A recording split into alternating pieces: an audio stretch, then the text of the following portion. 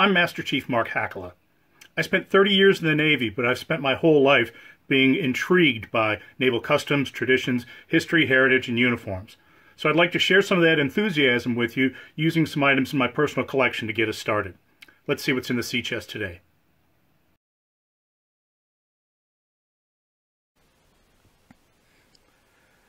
The cutlass.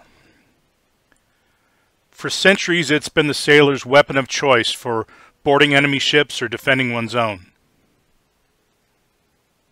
There have been different patterns with different blade shapes and lengths.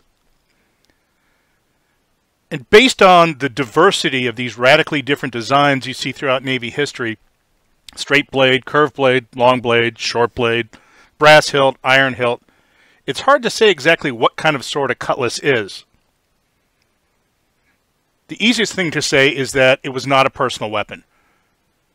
Cutlasses were normally stored in racks on bulkheads in strategic areas of the ship ready for quick access if under attack.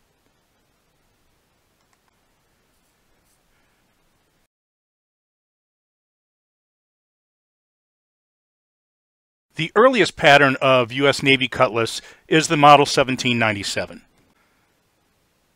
There had been some in use during the Revolutionary War by the Continental Navy, but each ship pretty much had to get whatever it could get its hands on. The design of the Model 1797 is, is pretty simple, pretty straightforward. It's a straight blade, 29 inches long.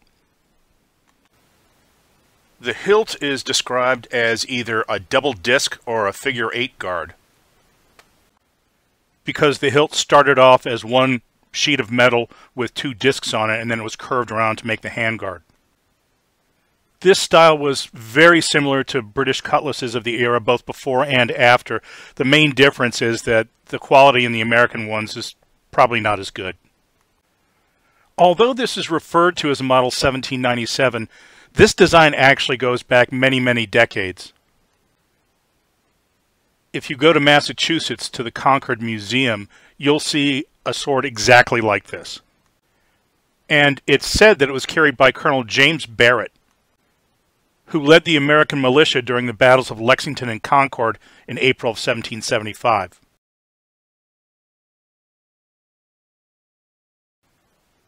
A few years later, in 1808, Nathan Starr, a manufacturer who had made 1797 pattern cutlasses, was approached by the Navy to produce new cutlasses for their ships. Nathan Starr would produce several different patterns of cutlasses throughout the years, each with a little bit of a difference in the design. Similar in blade length to the 1797, the model 1808 had a 28.5 inch single edged straight blade. The guard was made of iron and it was beaten into a concave shape on the inside to wrap around the hand and then it was lacquered black. Both the Model 1797 and the Model 1808 would be the workhorses of the War of 1812.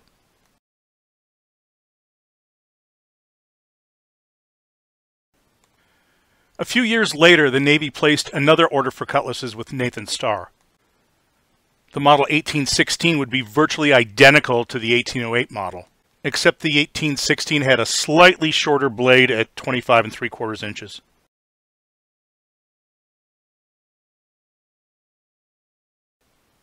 A decade later, in 1826, Nathan Starr got another contract from the Navy.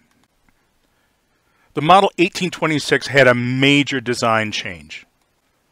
Although the length remained virtually the same as its predecessor, and the hilt was very similar to the last two, this style was massively different because the shape of the blade was now curved, and it was a pretty pronounced curvature.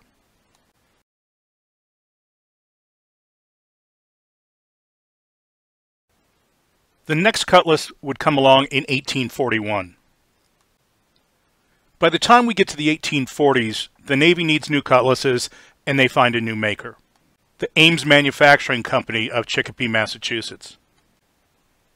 Over the years, Ames would prove itself quite capable in working government contracts and being able to take products they made for one service and adapt them to another. In 1832, Ames produced a foot artillery short sword for the Army. This sword was patterned after the Roman gladius, you know, the kind gladiators would use. So when Ames got the contract for the Navy cutlasses, what did they do? They took the foot artillery short sword, changed the hilt, making it a D handguard, and voila, the foot artillery short sword is now a cutlass. Design-wise, this isn't like any previous cutlass. This is a shorter blade at 21 inches long. It's got a double edge on it, and the whole hilt and handguard are made of brass. The end result is you have something that's heavy, kind of unwieldy, and wasn't very popular, although this did become the predominant pattern used by the Confederate Navy during the Civil War.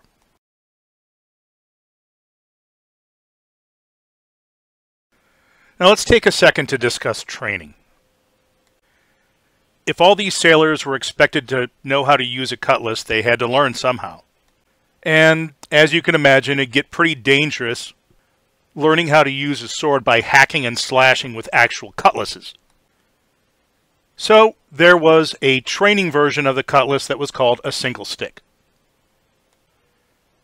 This would have a wooden blade and a leather handguard. Herman Melville, the author of Moby Dick, discusses single sticks in his book recounting his time in the U.S. Navy in 1843. He writes, Single stick, as everyone knows, is a delightful pastime, which consists in two men standing a few feet apart and rapping each other over the head with long poles. There is a good deal of fun in it, so long as you're not hit. But a hit, in the judgment of discreet persons, spoils the sport completely. When this pastime is practiced by connoisseurs ashore, they wear heavy wired helmets to break the force of the blows. But the only helmets of our tars were those with which nature had furnished them.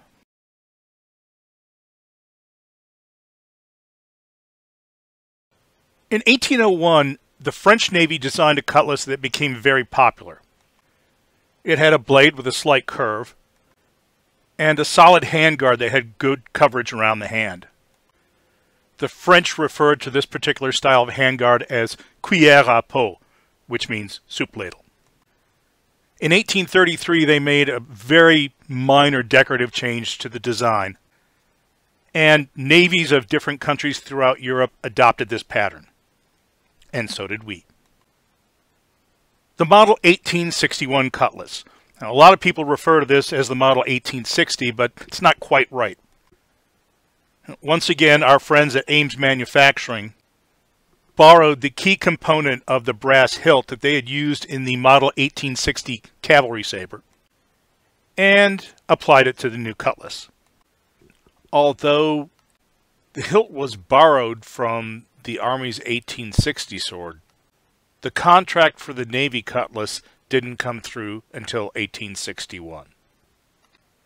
To copy the cuillère à pot handguard from the French cutlass, they did one major thing different. The French one, the handguard was made of iron or steel. The US one, it was made of brass. And it wasn't particularly thick brass either. So just about all of the Model 1861 cutlasses that you see today, they're going to have lots of dings and dents in the handguard. The 1861's steel blade had a curve very similar to the French model, and at the base of the handle or the pommel, they used a Phrygian cap style, which was basically the same thing they had used on the 1860 cavalry sabre. The Model 1861 was made in the tens of thousands and was used during the Civil War in battles such as the assault on Fort Fisher, North Carolina in 1864-65. This model would remain around well into the 20th century and it was chosen as a key component of the design of the enlisted surface warfare insignia. One mistake you'll see is that there's an imaginary left-handed version of the cutlass on the ESWS pen. The Navy continued to give instruction in the use of the cutlass into the 20th century. The drill manuals of both 1898 and 1899 each had chapters on offensive and defensive techniques with the cutlass. The cutlass is even mentioned as a potential weapon for a landing party member in the Landing Party Manual of 1938.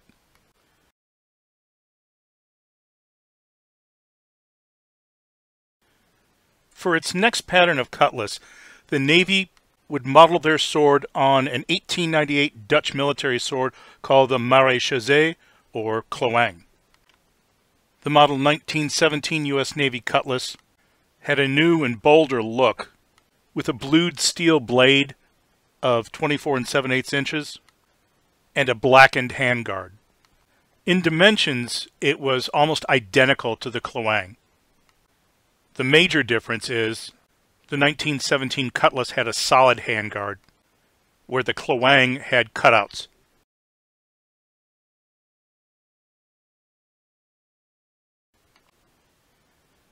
The last Cutlass to be purchased by the U.S. Navy for use as an actual weapon was the Model 1941. A lot of people have called this the 1917 variant, but in reality, it is the Klewang. Same dimensions, same cutouts. Small numbers of these were actually known to be used by Navy and Army personnel during World War II. In the years after World War II, the Navy began to take stock in things. We were now in an age of air power, helicopters, jets, and nuclear weapons. The days of coming alongside an enemy ship and boarding with cutlass in one hand and pistol in the other had come and gone. In November 1949, the cutlass was officially declared obsolete as a weapon by the Navy Bureau of Ordnance. The venerable Navy cutlass had slipped into history. Or had it?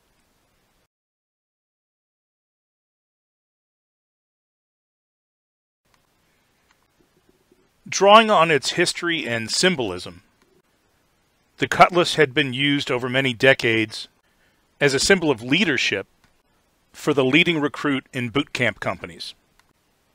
For this purpose, a version known as the Great Lakes pattern cutlass emerged. The Great Lakes pattern was different.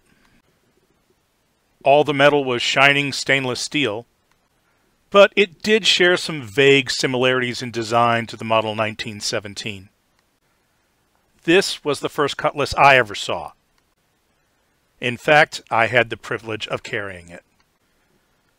This is a picture of me carrying the Great Lakes pattern cutlass as the recruit chief petty officer of the drill team during my boot camp graduation at Recruit Training Command in Great Lakes in 1981. If you can see, my copy of the Great Lakes Cutlass is an authentic one that was used by recruits, as evidenced by all the dings and gouges in the sharp edge of the blade from recruits playing swashbuckler when nobody was looking. For years, the Great Lakes pattern was the only cutlass that anyone saw.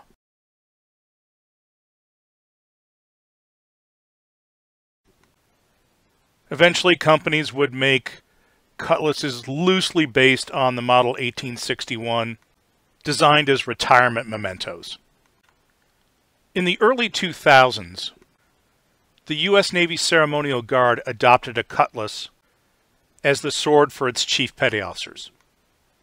For the various kinds of ceremonies and funerals that the Navy Ceremonial Guard performs, chiefs needed to have a sword. Non-commissioned officers in other branches of the armed forces had a dedicated sword to themselves. And for a few years, the chiefs in the Navy Ceremonial Guard actually carried Navy officer swords.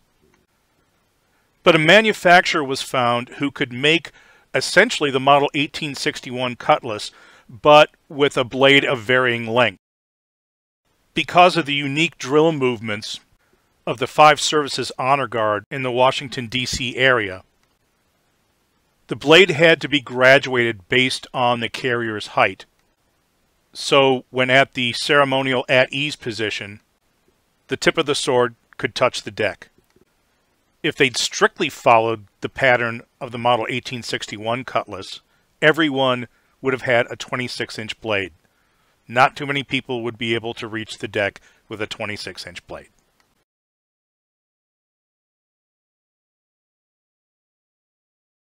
So a desire began to build to create a ceremonial cutlass for Chief Petty Officers. And I was fortunate enough that I was able to assist that process.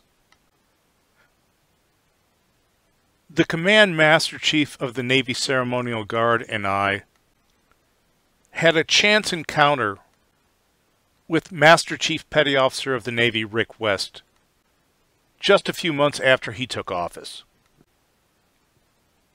We proposed the idea that there should be a Chief Petty Officer's Cutlass and explained that it would be fairly easy to do because there was already a model of the Cutlass in production that the Ceremonial Guard was using. After hearing us out, MCPON smiled. He said, I love it. Put everything together, send it to my office, and we'll push this thing through. Over the next several weeks, there was work to be done. There was research on all the different patterns and designs of cutlasses throughout Navy history. In fact, most of what you're seeing in this presentation came out of that research. And recommended that we go with a version of the Model 1861. It was the most iconic, definitely the best looking one that we'd ever had, and it appeared on many sailors' chests in the form of the enlisted surface warfare pin. So, a lot of compiled research and a very detailed proposal went over to MCPON's office. While the proposal was there, the design took a few changes. First, the Phrygian cap style pommel at the base of the handle was changed to a more flattened one that bore an image of the first Chief Petty Officer anchor that was introduced in 1897. Another inclusion was on the ricasso at the base of the blade near the hilt. The four anchors for Chief, Senior Chief, Master Chief, and Master Chief Petty Officer of the Navy would be engraved. Additionally, the cuillère à pot handguard was enlarged in size, though I'm not quite sure why. A few months later, at an event for the Navy's Sailors of the Year, MCPON West spotted me and moved quickly in my direction with a big smile on his face. And he said, We just got the prototype of the Cutlass back and CNO loves it. So ultimately, on March 31st, 2010, NAVADMIN 11810 authorized the CPO ceremonial cutlass officially. Just a few months after that, I was fortunate enough to become one of the first people ever to wear it in a ceremony. In fact, I wore it in two. On a Friday, I wore it at my father's funeral at Arlington National Cemetery. And on Saturday, I wore it at my retirement. Check back soon for more content. Thanks for watching.